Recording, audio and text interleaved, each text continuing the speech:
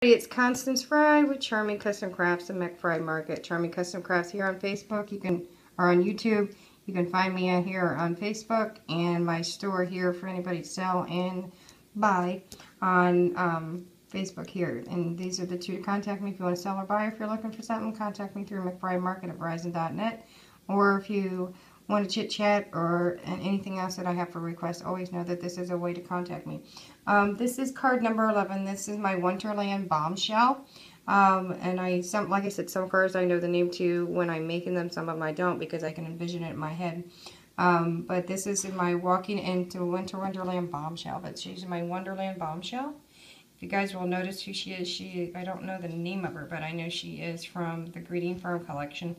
Um, I think she's more of, she's attributed to um, Marilyn Monroe, and I, I, do, I adore.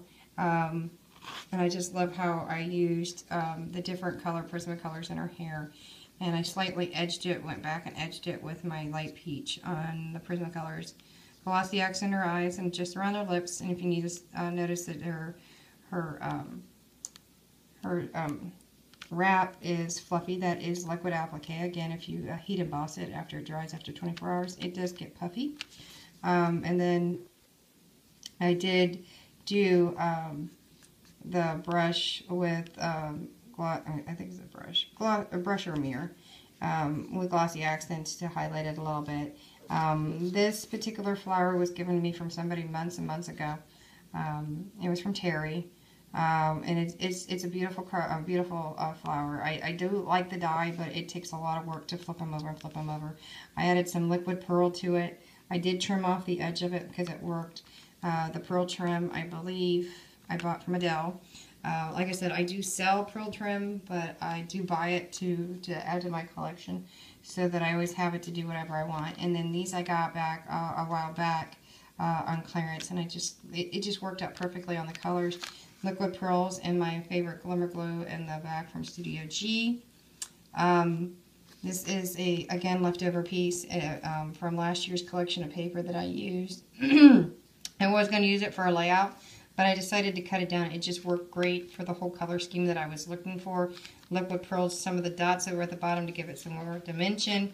Added some liquid pearl after I um, edged it with some, I think, I didn't use red ink. I used Tim Holtz um, mahogany stain to get that. Believe it or not, it is more of a red look. So when I put the uh, glimmer glue across the bottom of it, it went more red, which I really like the whole look. Um, so I did color her. She is pop dotted. This is flat done. This is hot glue done. This is already sticky. The nice thing about some of the gems, they're super sticky.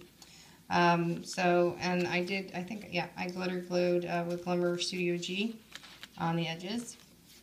And then on the inside it says let it snow and you can see where the, um, this paper is from Marisol for my swap. It's one of the silk papers. It's one of my favorites.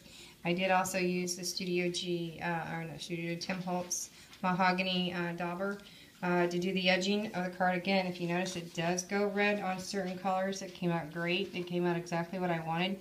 It did slightly stain the edges, which I really liked how it looked. Gave it just more of another dimension. Um, this was a gift tag in the back that I got. I don't even remember when.